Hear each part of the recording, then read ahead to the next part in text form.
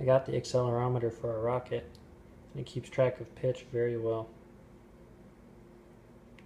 It's pretty dope.